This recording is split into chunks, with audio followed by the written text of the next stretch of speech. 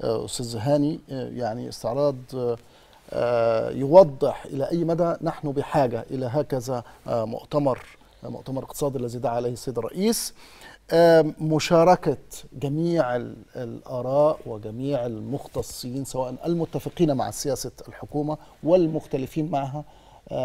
أعتقد وأنا بسأل حضرتك يعني ربما يثري هذا المؤتمر.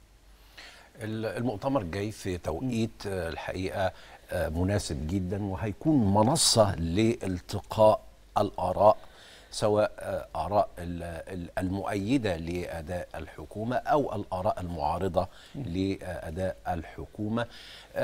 الملفات اللي هتطرح في المؤتمر هي الحقيقة ناتجة عن ما يعيشه العالم من أو يواجهه يواجهه العالم من أزمات اقتصادية وانعكست بالتالي على علينا هنا في في مصر وعلى الأحوال الاقتصادية والأحوال المعيشية اللي بيعيشها المواطن.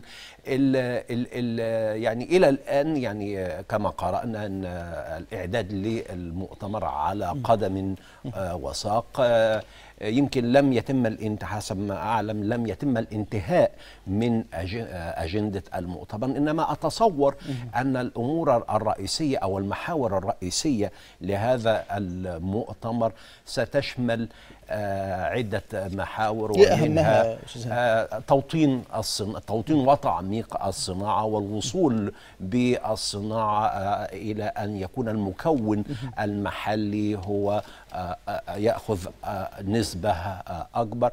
أيضا التصدير والوصول ب الصادرات إلى المستهدف 100 مليار وده الحقيقة يعني إحنا في هذا العام تحديدا الصادرات الغير نفطية تقدمت إلى إلى إلى حد كبير. يعني لما بنتكلم على التصدير إحنا وسط أزمة يعني يعلمها الجميع أزمة العملة ندرة العملة الصعبة في مصر. فالأمل هو أيضا في التصدير مع طبعا الترشيد في الاستيراد. أيضا ملف هام أيضا وهو دعم السياحة. السياحة يعني للأسف تأثرت كثيرا بالحرب الروسية الأوكرانية وقبلها أزمة كورونا. إنما ما نشهده هذا العام في مؤشرات. نعم. في في السياحة. ونأمل أن يكون هناك المستهدف تحقيق المستهدف 30 مليار دولار من السياحة أيضا. يكون من يعني الحكومة تناقش مع المختلف المهتمين السبل التي تدفع بالوصول إلى تحقيق هذا المستهدف. إحنا كنا بنحقق في السنوات ما قبل الكورونا وصلنا أعتقد 11 مليار. 11 11 مليار, مليار دولار وهي تمثل 8% تقريبا.